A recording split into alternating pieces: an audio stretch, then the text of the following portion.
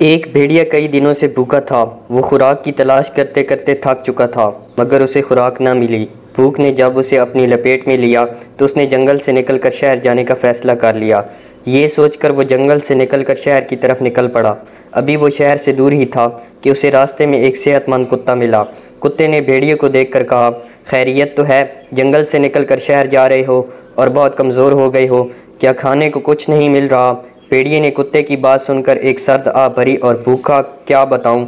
میری حالت دیکھ کر تم سمجھ ہی گئے ہوگے کہ میں کئی دن سے بھوکا ہوں۔ خیر، مجھے چھوڑو، تم تو بہت صحت مند نظر آ رہے ہو۔ لگتا ہے روزانہ بہت عمدہ کھانا کھاتے ہو، اسی لیے تو بہت موٹے تازے ہو گئے ہو۔ کتے نے بھیڑیے کی بات سن کر کہا، میرا مالک بہت اچھا ہے، میں اس کے گھر کی رکھوالی کرتا ہوں۔ اسی لیے وہ مجھے اچھا کھانا کھلاتا ہے۔ اگر تم چاہو تو میرے ساتھ چلو، میں تمہیں کسی گھر کی رکھوالی کی نوکری دلوا دوں گا۔ کام کرنے کی وجہ سے تمہیں بھی خوب اچھا کھانا ملے گا۔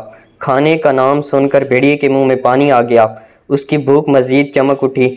بھیڑیا خوش ہو کر بولا، مجھے منظور ہے، مجھے بھی اپنے ساتھ لے چلو، میں نوکری کر لوں گا۔ کتے نے کہا، ٹھیک ہے، چلو میرے ساتھ یہ کہہ کر کتے نے بھیڑیے کو اپنے ساتھ لیا اور آبادی کی طرف چل پڑا۔ راستے میں دونوں باتیں کرتے ہوئے جا رہے تھے کہ بھیڑیے کو کتے کے گلے میں ایک گول سا نشان نظر آیا۔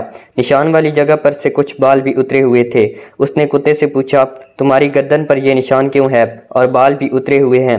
کتے نے کہا، یہ نشان اس پٹے کا ہے جو میرا مالک میرے گلے میں ڈال دیتا ہے۔ یوں میں دن بھر زنجیر سے بندہ رہتا ہوں۔ پھر جب رات ہوتی ہے تو میرا مالک مجھے آزاد کر دیتا ہے۔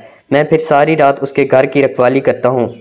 کتے کی بات سن کر بیڑیا یک دم رک گیا۔ کتے نے پوچھا، چلتے چلتے کیوں رک گئے ہو؟ اب تو گھر بھی بہت قریب آ گیا ہے۔ بیڑیا جنگل کی طرف رخ کرتے ہوئے بولا، بھائی، مجھے یہ کام نہیں کرنا۔ غلامی کی عیش و عشرت سے تو آزادی کی بھوک ہی اچھی ہے۔ یہ کہہ کر بھیڑیا جنگل کی طرف بھاگ پڑا۔